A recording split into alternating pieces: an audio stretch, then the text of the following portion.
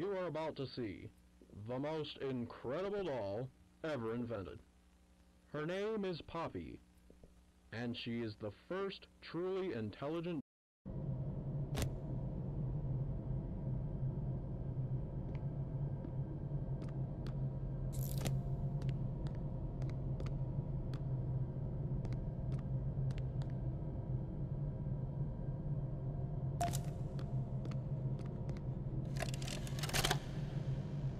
Hi, my name is Leith Pierre, and I'm the head of innovation here at the Playtime Co. Toy Factory. If you're seeing this, then you're trespassing. Yeah, we played this little tape on loop whenever...